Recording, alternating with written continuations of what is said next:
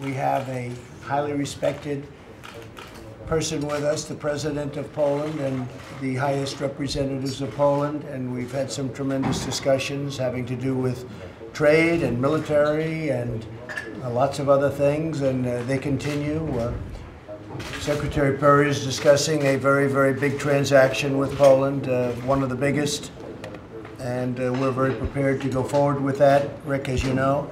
Yes, sir. And uh, I think it'll be something that will be very, very important for both nations, maybe in particular for your nation. I think you're right in what you're doing.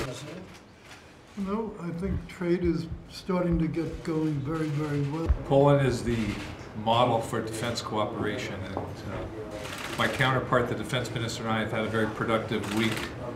As you know, the Poland spends two percent of their GDP on defense, and they buy American. They spend over twenty percent of their defense spending on procurement. It's true. They buy, They buy buy American. American. Sure, we appreciate it. We're looking at F-35s, and we have a, uh, uh, more work that we're doing in terms of troops in Poland, and it's been a very, very productive week. Good. ally of ours.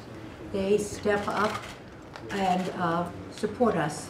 And how are we doing on the other border, that southern, that southern border that we talk about all the time? We're, we're doing well, Mr. President. We're aggressively implementing the agreement uh, that Secretary Pompeo, uh, with, and with your leadership, we got with Mexico recently, and so we're uh, making progress on that already in the first few days, uh, and, and seeing some real developments on our partnership.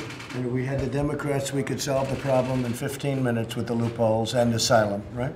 That's what I explained at uh, Chairman Graham's hearing yesterday. I know you did, and you did it well. Uh, John, Mr. President, please. Thank you, Mr. President.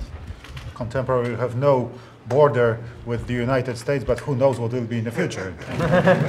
You never know. Thank you very much. Thank you, everybody. Thank you very much. Appreciate it.